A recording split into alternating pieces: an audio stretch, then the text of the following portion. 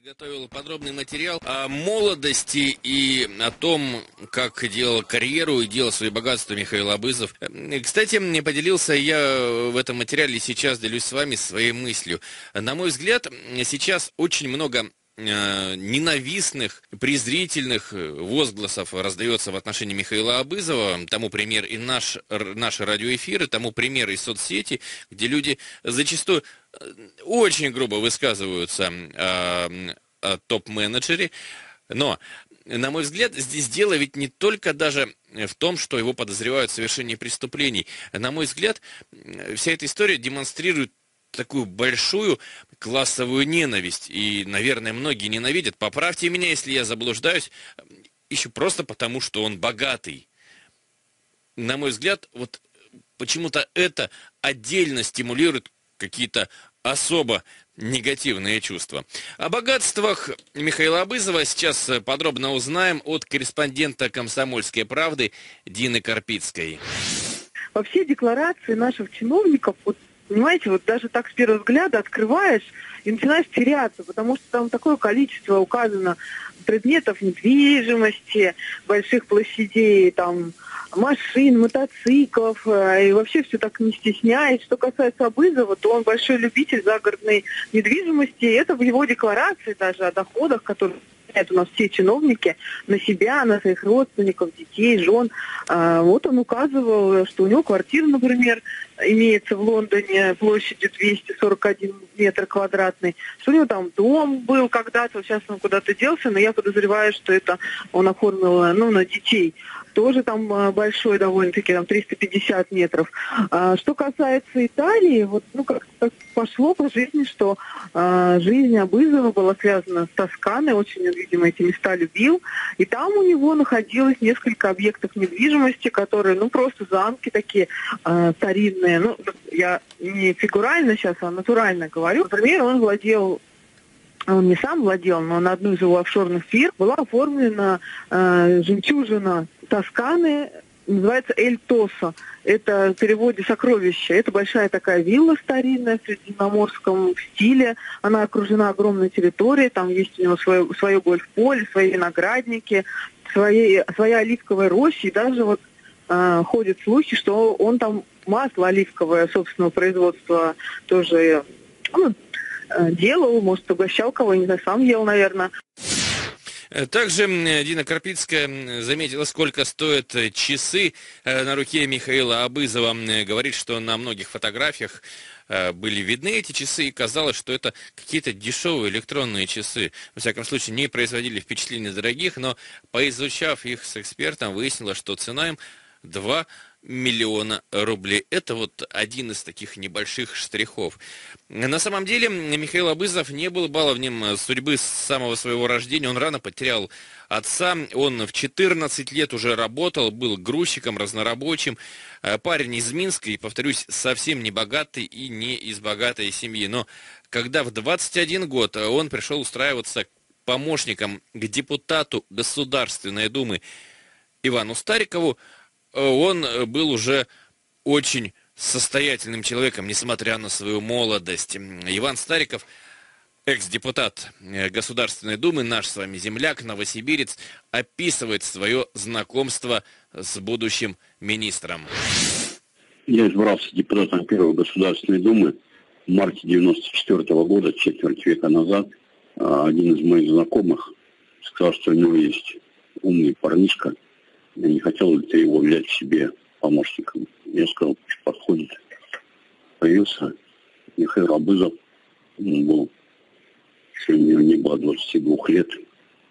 И формального вида с косичкой серьгой в ухе. Мы с ним поговорили, мне понравился. Я сказал, что я готов его взять на работу, но если он отрезать косичку и вытащить серьгу из уха, он поначалу сказал, что против свободы личности. Я сказал, да нет, я заново. Вы будете меня представлять, зачем же барьеры выстраивать между вами, мной и собеседниками.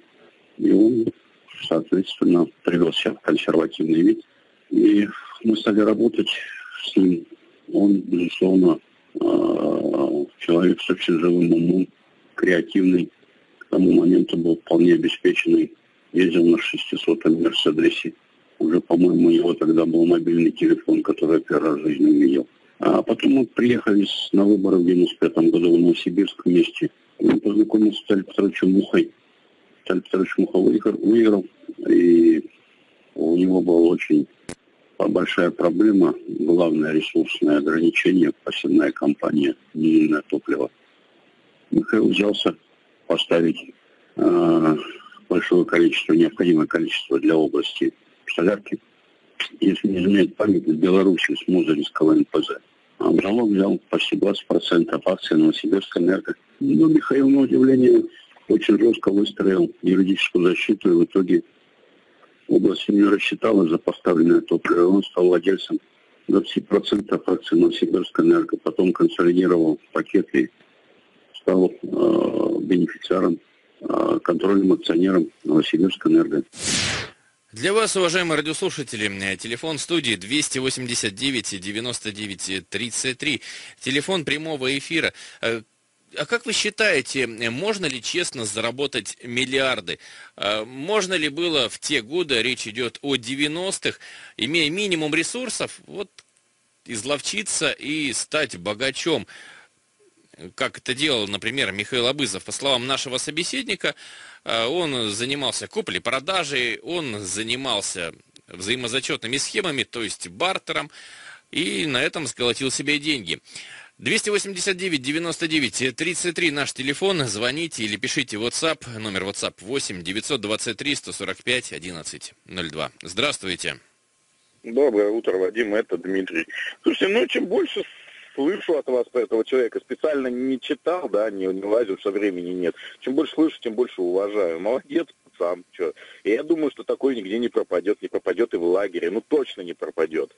Вот, поэтому, а по поводу того, можно ли было тогда заработать, слушайте, но, знаете, у меня был оппонент в суде, ну, не только в суде, там, по, вообще по делам а в, в Москве, я фамилию не буду называть, вот. Но суть в том, что в те времена, в 91-м, он уволился из службы внешней разведки. Вот, в итоге его здесь э, в Москве уже, уже в наше время кинул банкир, там на нормальное количество, на 60 миллионов. Вот. И вот мы, когда на допросе сидели в, э, в полиции в Москве, он говорит, вот я эти деньги заработал в 93-м году за границей. Я задал единственный вопрос. Я говорю, а как генерал службы внешней разведки, только что уволенный, может за, за границей заработать деньги? Что ты там продал? И все, и, да, и, и начались уже угрозы после этого. Я к чему это говорю? Потому что тогда нереально было заработать такие деньги. Ну, нереально было заработать такие деньги без криминала, без нарушения законов. И я думаю, что все наши министры и все, у кого вот есть миллиардеры, в том числе и наш Верховный, я думаю, они прекрасно понимают, как эти деньги были заработаны. Вот.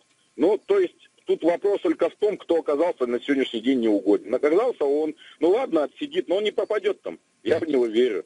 Спасибо, Дмитрий, за участие в эфире. Доброе утро. Алло, здравствуйте. Здравствуйте. Вадим, Николай. Вы знаете, я работал в 90-х в бизнесе немножечко. Легко можно было заработать такие деньги. В стране не было ничего. То есть удачно договорившись с кем-то продать, и с кем-то купить, можно было там, накрутив рубль-два, заработать огромные деньги, просто огромные. Нужна была и просто я... предприимчивость, надо было понять, да, что знаете, купить, в да? В то время ходил анекдот. Один бизнесмен подходит к другому и говорит, купишь у меня вагон леса? Тот говорит, куплю, а сколько стоит? Он говорит, миллион. Один пошел искать вагон леса, потом второй пошел искать миллион. Вот и все. То есть как бы надо было найти людей, которые у тебя это купят и за это заплатят. Вот и все. То есть как бы. Вот человек реально, я сейчас слушал сюжет, поставил солярку в Новосибирскую область, область не рассчиталась. Оба-на, и отдали ему акции э, вот этой энергетической компании. И все, и человек... Я тогда был удивлен, что молодой парень какой-то такой, раз, и у нас возглавляет э, Сибэко, там, или как она там... Новосибирская энерго тогда называлась. Э, потом а, оказ, оказывается, все вполне легитимно, то есть как бы не рассчитались, отдали. Я, кстати, вот сегодня почитал еще э, как бы суть претензий, которые к нему предъявляются. Собственно говоря, то же самое. Он купил эти акции за 186 миллионов, продал их за 4,5 миллиарда. Но если кто-то их купил, причем там, ну, как бы покупал, это тоже какая-то ООО алмазы, там что-то ювелир-сервис, как-то там она называлась. Они что же не дураки? Ну, наверное, нужны были им эти акции. Понимаете, в некоторых случаях э, людям нужны акции для того, чтобы там пакет контрольный взять над какой-то конторой или что, и они за это платят гораздо больше денег, чем акции стоят. И это нормально, то есть как бы я знаю такие случаи, когда акции, стоящие копейки, в какой-то момент взлетают до небес буквально на один день, а потом опять возвращаются, так сказать, на круги своя. Поэтому в данном случае прокуратуре-то, ну, посмотрели котировки, да, 186 миллионов, продано за 4 от мошенничества. Никакого, собственно, я тоже думаю, что это здесь... Конечно, если не кроется под этим что-то более глубинное, более глубинное, то тогда да. Я только небольшую важную поправку сделаю, Николай. То предприятие, с которым была сделка, и эта сделка сейчас легла в основу обвинения, это не АО, это федеральное государственное унитарное предприятие. Называется, вы почти правильно назвали, «Алмаз Ювелир Экспорт». Но, повторюсь, что федеральное государственное предприятие. И об этой сделке и о том, как она э, стала поводом для обвинения, тоже у нас э, комментарий прозвучит. Ну, вот интересная, конечно, история про Абызова. Про нее на самом деле уже года два, наверное, как говорят. Там первый это Навальный расследование же публиковал еще в 2017 году. Да, но Примерно только я факты. важную ремарку приведу, что Навальный говорил о тех деньгах, которыми располагает Абызов, о тех богатствах, которые у него есть, но не говорил о каких-то коррупционных сделках. Он просто проводил параллель. Тарифы в Новосибирске, богатство Абызова. Ну да, там был уже как факт, что он собственник этой энергосистемы. Я просто слушаю, как вот сейчас там топливо поставил, там что-то не рассчитались.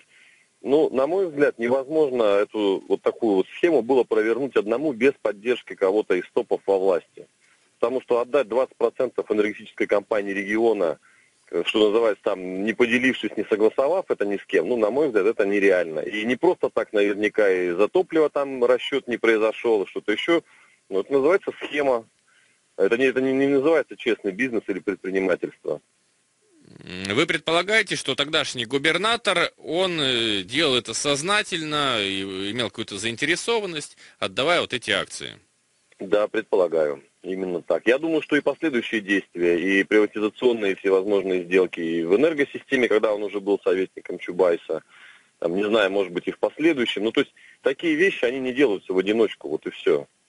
Сейчас почему-то он оказался крайним, ну, где-то, значит, что-то снова не поделил, наверняка. Я думаю, что основная причина в этом, потому что прошли просто уже годы, там, десятки лет, и сейчас ему вспоминают те вещи, там, неужели никто об этом не знал? Да все прекрасно знали. Просто сейчас что-то произошло, и произошел снова передел, и все. Спасибо за ваше мнение, принято. 289 99 33, напоминаю, телефон. Доброе утро. Доброе утро, Виктор меня зовут. А, вы знаете, я в 2000-е годы занимался продажей, ну не я конкретно, а работал в организации, которая занимается продажей арестованного имущества. А, очень простая схема. Все можно было заработать и купить за 3 копейки. То есть приходят, допустим, арест на какое-то предприятие, там долги по заработной плате. Они выставляют на продажу здание заводу управления, например, в Новосибирске на проспекте Дзержинского. Закрытые торги, никто ничего не купил. Уценка на 50%, потом еще одна уценка. И потом приходит руководитель этого завода и покупает этот же завод за 3 копейки. Вот. Компания получает свои проценты, а человек получает завод ну, задарма, грубо говоря, при наличии определенного административного ресурса. То есть очень простая схема. Можно было купить что угодно и продать все, что угодно самому себе вот, прям даром. В этой схеме, о которой вы рассказали, в каком месте присутствовал именно административный ресурс?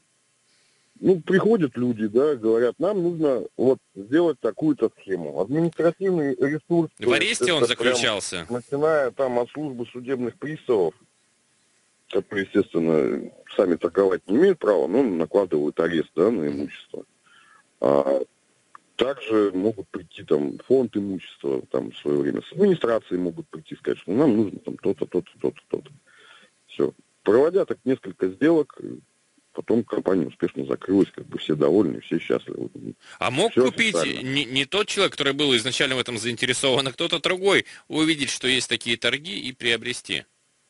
А, В принципе, да, но если торгующая организация все правильно сделает, то никто этого не увидит и никто этого не узнает. То есть там нужно дать объявление по закону было, что проводятся торги, да, ну, даешь какую-нибудь газету региональную, там, Болотнинский вестник, например, и, и никто ничего не увидит, никто не узнает. В том числе федеральное имущество точно так же продавалось, потому что за предприятия принадлежали все, собственно, государству, да, был такой федеральный долговой центр при правительстве в Москве, который тоже это все контролировал. И все это продавалось совершенно спокойно. Спасибо, спасибо вам за интересный рассказ. Благодарю. Доброе утро. Э, доброе, доброе утро. Меня зовут Владимир. Я проживаю в Новосибирске. Значит, я что могу сказать? Вот об Абызове, да, я его не знаю, не читал его, значит, э, его, ну, характеристики и так далее. Я так считаю, что он э, разбогател за счет э, населения, за счет народа. Понимаете? После развала Советского Союза вся собственность, она была государственной. А потом, кто мог, кто имел доступ, э, раскупили все заводы, фабрики и так далее, все порастащили и торговали их. Торговали. То бишь, в советское время называлось это спекуляцией. А сейчас это называется бизнесом. Понимаете, да, о чем я говорю? Понимаю, спекуляция это несколько другое, это купи-продай. Но, ну, это но, то же самое. Но суть я понял, что вы имеете в виду. Да, ну, приблизительно вот, вот так вот. Это, если я буду распространяться, можно об этом долго разговаривать. И что еще хочу сказать. Э, значит, э, он не построил никаких фабриков, фабрик, ни заводов, не выпустил никакой продукции, не выпустил товаров, необходимого для, для народа, для, для населения. Понимаете? И как он разбогател? Разбогател за счет э, купли-продажи. Вот я вам могу привести пример. я, значит, э, э, занимаюсь, э, значит, э, расследованием вот такого преступления. Никто не, не дал мне, э, значит, э, э не запретил мне заниматься расследованием или проведением каких-то ну, мероприятий по установлению истины. В 1998 году был организован кооператив, который занимался газификацией. По городу таких кооперативов было около, около 40. И в черте значит, города Новосибирска в области – Э, эти кооперативы, газовые кооперативы вели строительство газопроводов. Вот. Граждане, жители Новосибирска, Новосибирской области построили вот эти вот э, значит, э, газопроводы. И в 2012 году их рейдерским способом захватили городские газовые сети. Причем все вот эти кооперативы. А вот наше имущество, где этот кооператив у нас на микрорайоне Бронного, туда внесено около 30 миллионов рублей. Вот граждане построили этот газопровод, причем... И граждане ничего с этого не получили в итоге. Совершенно верно. Хотя на строительство этих газопроводов да, выделялись бюджетные средства. Это не только вот в нашем случае, но это во, все, это во всех районах. Допустим, э, в этом в Раздольном, в селе Раздольное такая же ситуация, в других это самое, в городе Аби. Вот стали собственником этих э, коммуникаций городские газовые сети. Ну как городские газовые сети? За ним стоят руководители. Тогда был Ксензов. Вот. Это имущество несколько раз перепродавалось. Понимаете, я вот последнее знаю, э, располагая такой информацией, что это имущество стоит э, перепродано за 300 миллионов рублей. Вот, вы понимаете, 300 миллионов рублей, а может и больше. Мы с вами по поводу вашего расследования свяжемся. Вам спасибо за звонок. 289 99 33, телефон прямого эфира для вас, уважаемые радиослушатели, для ваших комментариев. А теперь я предлагаю э, о том послушать, как Михаил Абызов познакомился с Анатолием Чубайсом. Напомню, что э, когда избиралась мера пресечения для экс-министра, Чубайс был готов за него поручиться и поручался за него. Впрочем, это не избавило Абызова от ареста. Э, по словам экс-депутата Ивана Старикова, который был начальником Абызова, Сыграло свою роль умение Михаила проводить взаимозачетные бартерные сделки. Именно в те годы электричество продавалось во многом по бартеру, что было крайне невыгодно для электрических сетей и, по сути, действительно наносило ущерб энергетике. Для того, чтобы решить эту проблему, Чубайс и взял Абызова на работу. Подробно об этом рассказывает сам Иван Стариков. Михаил зарабатывал большие деньги на расчетных схемах. А в этом деле он, что называется, собаку съел. А он брал а, топливо для атомных станций, поставлял их на атомные станции, забирал тарифом. Тариф этот отдавал алюминщикам, алюминщиков брал уже алюминий, на бирже выставлял лондонской бирже цветных металлов, получал живые деньги, дальше по цепочке рассчитывался, понятно, прилично на этом зарабатывая. Поэтому, когда в 98 году Анатолий Борисович шел в РАО он спросил, нет ли у меня знакомого, кто знает все анатомию а, зачетных схем. Я ему сказал, что есть такой мой бывший помощник. Представил Анатолию Борисовичу.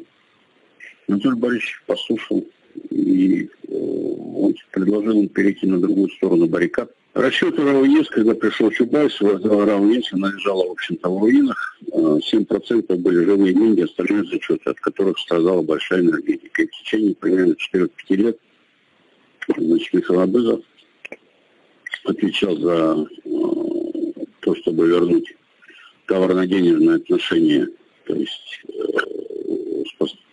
поставщиками и потребителями энергоресурсов, поставщиками комплектующих для большой энергетики, топлива там, всего остального. И через 4-5 лет РАОЕС перешла практически на 100% оплату тарифа электрического и теплового. Принимаем очередной звонок. Здравствуйте. Да, здравствуйте. Меня Вячеслав зовут. Я одно понять не могу, то есть все это происходило там 97-98 год, когда Абызову, собственно, там 24-25 лет было, там 26. Я скажу вот. больше, э, помощником к депутату он пришел в 21 год и уже тогда, э, по словам нашего собеседника, ездил на 600-м Мерседесе. Ну вот как, кто его допустил до вот сильных мира всего и до таких денег э, в возрасте, там, в 21 год помощник депутата, то есть человек еще, в принципе, жизни видевший, ну, и институт не закончивший становится помощником депутата. Вот это мне не совсем понятно. Ну, я все-таки хочу с вами немного поспорить. Мне можно сомневаться в законности доходов, что, в общем-то, э, радиослушатели и делают. Но стать помощником депутата в молодом возрасте можно. То есть для этого не требуется... И торговать алюминием, там, доверие Чубайса. Ну, как-то для 25 лет очень много не, не верите, что человек. самостоятельно, без каких-то связей это возможно? Да я никогда не поверю, знаете. Был бы он симпатичной девочкой, да, он бы мог стать помощницей депутата. Ну, в наше время, э, в теперешний, ну, вот симпатичный именно, мальчик мог бы, конечно, продвинуться, но, наверное, не в 98-м году. Ну, вы знаете, вот в тех годах, я думаю, заработать можно было на барахолке – знаете, именно на каком-нибудь бандитизме. Вот там тогда красиво все это, э, ну, жизнь пошла. Что же касается, э, да, действительно, в 21, вот 21-летних, почему они брали? Ведь много было советских людей, совестливых, порядочных управленцев. Почему их не брали? вот именно тогда. Вот это мне непонятно. А, ну, они пытались, вот смотрите, есть 21-летний парень, который крутится, вертится, э, проворачивает вот эти сделки бартера. А совестливые советские люди, которые были более взрослыми и, наверное, более консервативными, они умели это делать? Конечно, умели. Просто совесть не позволяла брать своего товарища, обворовывать. Я вам не верю, Алексей, что не позволяла совесть. Э, многим не позволяют свои личные э, способности, эрудированность и мобильность. Зачастую молодые люди, они более верткие, более трудолюбивые. А если человеку, зачастую так бывает, уже исполнилось там 40-50 лет он может называть себя совестливым, а на самом деле становится ленивым. Это не всегда так, но в нашем примере Михаил Абызов в 14 лет, повторюсь, я уже пошел зарабатывать, а в 21 год стал помощником депутата, предложив ему свои услуги. Я сейчас ни в коем случае э, не выступаю адвокатом для него, но я подчеркиваю, что во многом успех человека зависит от его трудолюбия и э, желания зарабатывать, желание что-то э, делать. Э, доброе утро, говорю я следующему дозвонившемуся и напоминаю заодно телефон прямого эфира 289 99 33. Здравствуйте. Еще раз здравствуйте, Виктор снова. Я вот опять хотел сказать, административный ресурс решал все.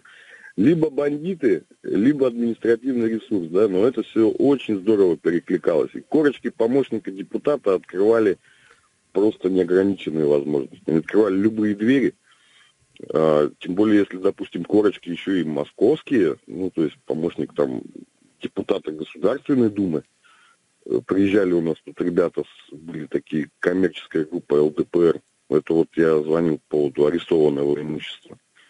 Спокойно занимались продажами. То есть, если там Новосибирск цемент, Искитим цемент, например, тогда себестоимость была 300 рублей тонна цемента, ну, на те, на те деньги, да, то, по сути, его выкупали по 120. Представляете? И продавали по 250. На том же самом заводе, тем же самым покупателям просто закладывали свою маржу. Согласны ли вы с э, мнением Алексея, что э, людей более взрослых, воспитанных в советские годы, останавливала совестливость от того, чтобы э, зарабатывать деньги на купле-продаже, на бартере? Да, я согласен. Тоже я на самом деле соглашусь, я знаю очень много людей, которые э, работали в администрации, занимали там какие-то должности, уходили на пенсию сотрудников милиции, э, которые работали в 90-е годы, не получая зарплаты, да, то есть люди, которые работали за идею. А они те, о, нет работы, мы пошли заниматься там бизнесом, мы пошли заниматься охраной. Ну, все это прекрасно все понимали, для чего эти ЧОПы создавались там и все такое прочее. Это чтобы получить лицензию на оружие официально и все. И есть люди реально, которые, я, ну вот, у меня родители, вот они не пошли в бизнес, да, они ушли на пенсию с сотрудниками полиции, милиции тогда, да, еще. И как бы они не пошли в бизнес. И не стали. Говорит, я не смогу этим заниматься. Я их и работать с такими людьми не смогу. Говорит, я их всю жизнь сажал, а потом я с ними буду работать или от них что-то получать, ну, мне, говорит, совесть не позволит. Спасибо вам за комментарий. Принято 289 99 33, телефон прямого эфира. Э, номер WhatsApp 8 923 145 1102. Здравствуйте. Здравствуйте. Я Владимир Алексеевич. Я хотел выразить свое мнение по этому поводу. Вы э, акцентируете в своих выступлениях мысль о какой-то о каком-то, каком-то таланте, предприимчивости этих людей. Э, все это построено в совершенно другой схеме. И я сам сужусь Сибека, я выиграл суды у Сибека. Э, мировая судья вынуждена была уволиться с работы – чем они занимаются? Они берут счета чужие, в моем случае, счета с долгами, подсовывают мне, а мои счета перекидывают им, тем, у кого, у кого долги. И получается замкнутая цепочка. Делают из, из меня подставу. Вот и в этом участвует административный ресурс. Здесь участвует администрация города, э, конгломерат по отъему жилья. Делают должниками, потом выселяют. О каких суммах идет речь в вашем случае? В моем случае, о какой сумме? Да. Ну, 35 тысяч рублей. Но мне кажется... Для меня, пенсионера, это накладно. Как говорил Фазиль Искандер, рынок без морали, зверинец с открытыми клетками. Вот этот зверинец с открытыми клетками они нам устроили по всей России. Вы также считаете, что зарабатывать э, на взаимозачетных сделках, на купле-продаже советских, советские люди не могли из-за того, что были слишком совестливыми? Вы также придерживаетесь этого мнения? Это всегда классики мировой литературы осуждали это богатство. Оно основано было на крови. Не на честности, а на крови, на обмане, на насилии. А вы пытаетесь это отбелить каким-то образом. Я не пытаюсь обелить, я стыдно. просто не Вам верю, что люди... такие вещи проповедовать. Давайте Спасибо. мы оба будем общаться, не только вы, когда я говорю, не перебивайте меня, пожалуйста, я же вас внимательно слушаю. Но я не верю, что вот именно в советские годы люди были совестливые, а сейчас бессовестные. Вспомните колоссальное количество несунов так называемых на заводах. Не было этого, когда таскали все подряд с производства. Это что, совесть заставляла таскать? Не было воришек, бандитов. Бандитизм в послевоенные годы, советские. На каком уровне был? Доброе утро, здравствуйте. Доброе утро, Вадим Владимир. Я вот слушаю про Михаила Абызова. И вот что он, только он в большей степени, что я, вот абсолютно одинаково.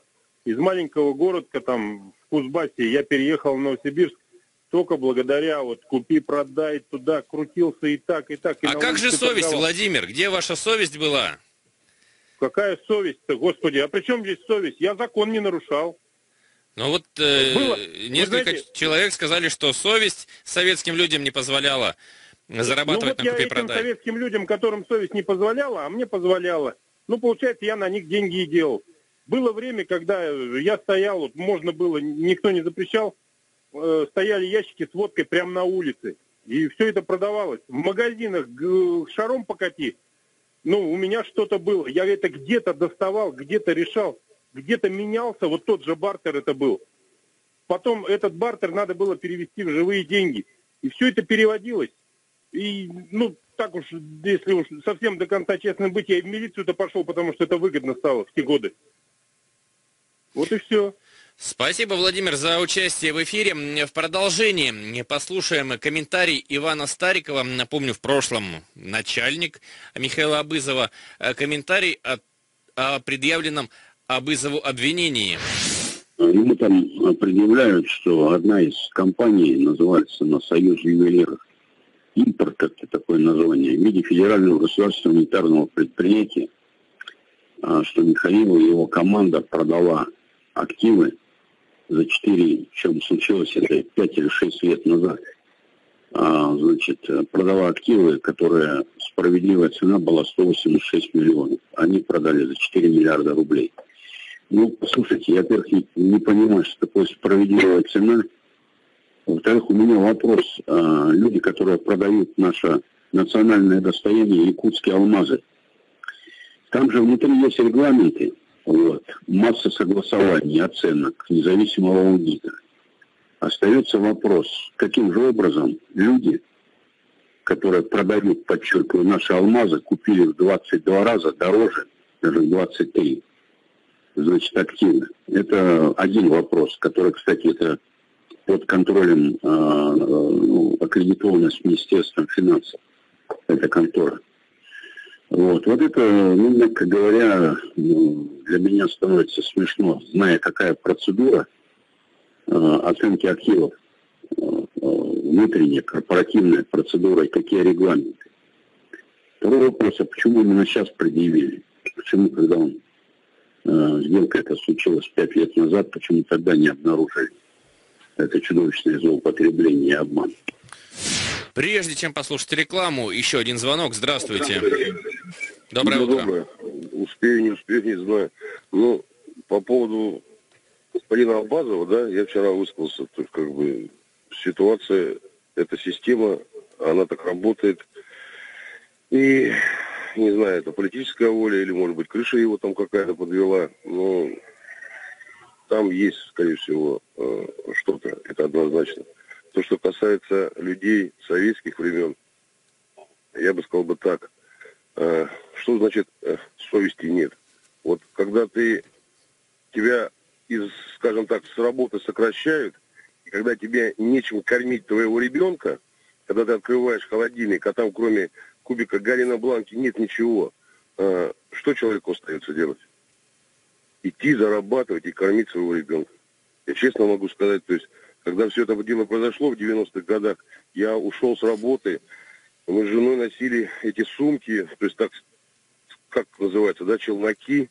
То есть мы, мы выживали, мы работали, мы кормили своего ребенка. Мне за всю мою жизнь, э, честно говоря, мое государство не дало ничего. ну, кроме моего образования. А все остальное легло на плечи на мои. То есть это мои престарелые родители, это моя дочь, которую я учил, за которую я платил образование и так далее, и так далее. Я эти деньги не воровал, я их зарабатывал. А кто-то рядом со мной, э, скажем так, повешал себе э, клеймо и сказал, что мне стыдно этим заниматься, ну, это твои, твои проблемы. Я считаю, что это, ну, это, ну, это вот совсем другие вещи. Я понял вас. Спасибо вам за участие в эфире. У нас остался еще один важный раздел темы Абызова. Это история с попыткой поднять в Новосибирской области э, тарифы на 15%. В связи с чем было это поднятие? Что за ним кроется? И энергетики, после того, как тарифы не поднялись, компенсировали это неподнятие чем-то другим?